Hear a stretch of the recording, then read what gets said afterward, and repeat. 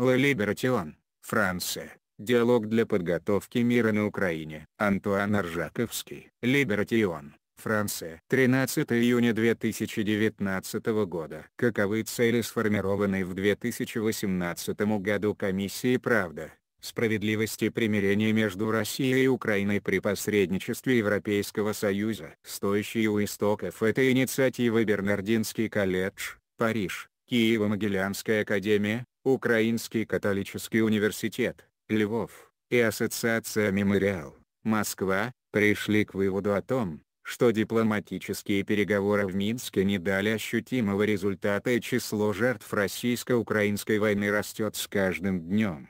Более 13 тысяч погибших, сотни тысяч раненых и несколько миллионов беженцев к июню 2019 года. Поэтому они положили начало трехсторонним встречам свободных, компетентных и признанных деятелей которые готовы вести диалог по самым болезненным темам российско-украинского конфликта. Помимо политической составляющей, она играет большую роль, но носит конъюнктурный характер. Было выделено три структурных причины конфликта, травматические исторические представления, недостатки в религиозных структурах и болезненные концепции суверенитета. Три первых заседания комиссии проводились в 2018-2019 годах в Париже, Киеве и Кане по трем этим темам и завершились подписанием общих документов полусотни интеллектуалов из России, Украины и Западной Европы. Сейчас задача заключается в том, чтобы напрямую заняться вопросом оккупированных территорий Крыма и Донбасса,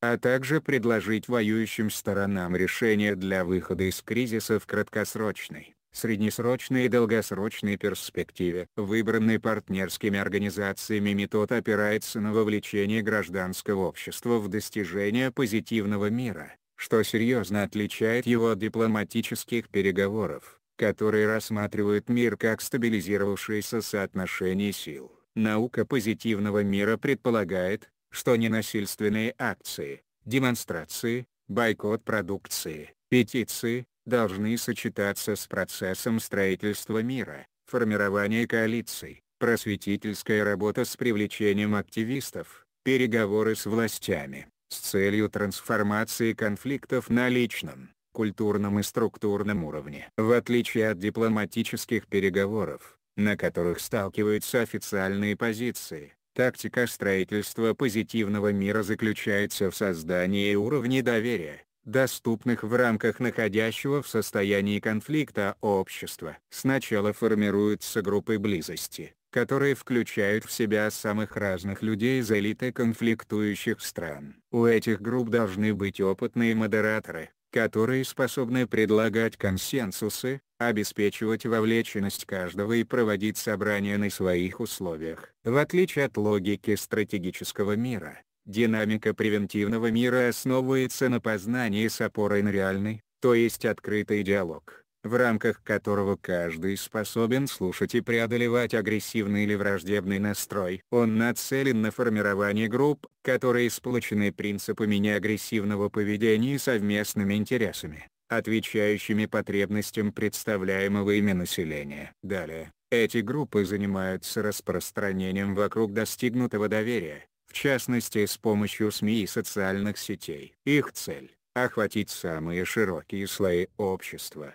а также наиболее влиятельные политические круги. Таким образом, основная цель комиссии – задействовать российское и украинское гражданское общество для продвижения мирного, устойчивого и комплексного урегулирования российско-украинского конфликта, который отвечает общим потребностям и интересам Украины и России, а также для снижения растущей напряженности между Россией и Европейским Союзом с помощью целого ряда скоординированных действий, Составление учебников истории методом перекрестных рассказов, мобилизация СМИ для борьбы с гибридной войной, просветительская работа для формирования критических взглядов и знакомства с правовым государством, законопроекты для возвращения общества на демократический путь, международное политическое давление для освобождения узников совести, международные экономические санкции для проведения на спорных территориях новых референдумов под эгидой ООН и ОБСЕ, инвестиционный план в охваченных конфликтом регионах в обмен на подписание мирных соглашений. Комиссия определенно не может добиться этого в одиночку. Именно поэтому ее главная цель заключается в том,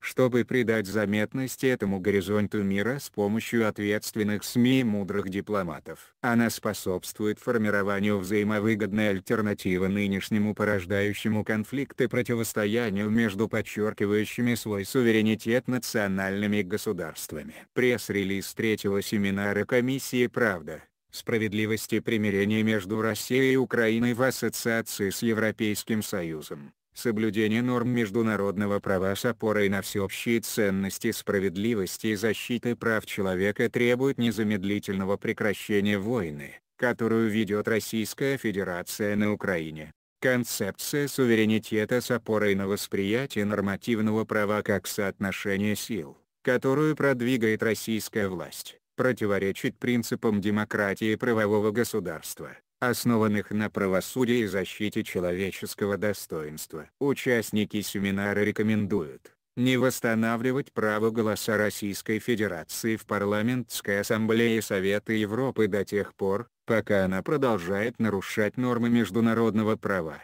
в том числе Европейскую конвенцию по правам человека.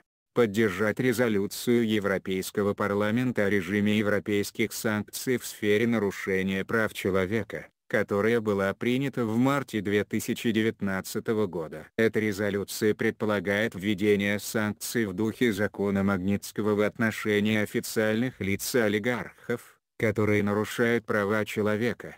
Следовать рекомендациям Международного фонда «Открытый диалог о применении закона Магнитского в мировых масштабах» сформировать форум для диалога между гражданским обществом Украины и России который должен работать на постоянной основе, в том числе в сети интернет. Участники семинара призывают отстаивать эту концепцию демократии правового государства путем интеллектуальных и этических усилий с опорой на европейские ценности, развивать политическую и просветительскую деятельность для укрепления иммунитета европейского гражданского общества против правого и левого популизма, национального эгоизма и попыток оказать разрушительное влияние на коллективное сознание. Добиться осознания задач коллективной безопасности как ключевой миссии в борьбе с гибридной войной. Создать в рамках Совета Европы комиссию «Правда», справедливости примирения с целью обновления списка и осуждения преступлений тоталитарного коммунистического режима,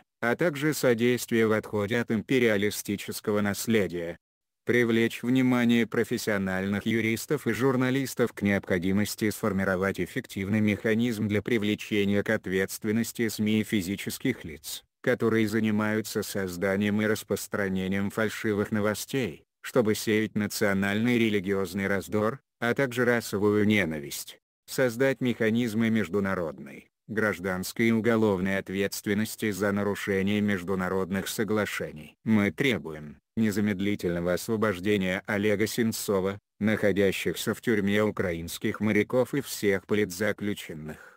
Создание в рамках Совета Европы единого реестра с указанием всех случаев нарушения прав человека по образцу и принципу составленного в ФРГ реестра преступлений в ГДР. Наша комиссия и российские и украинские участники намереваются продолжить работу на благо справедливости и мира. От России 1. Людмила Телень, журналист 2. Никита Петров, историк, Ассоциация Мемориал 3. Анастасия Кириленко, проживающая в Париже российская журналистка 4. Игорь Эдман, проживающий в Германии российский социолог 5. Надежда Кутепова, юрист и экологический активист из Челябинска, получила убежище во Франции от Украины. 1. Евгений Хлебовицкий, эксперт по СМИ на Украине 2. Константин Сигов, философ, преподаватель Киево-Могилянской академии 3. Григорий Коваленко, философ, ректор Открытого православного университета Святой Софии от Европейского Союза.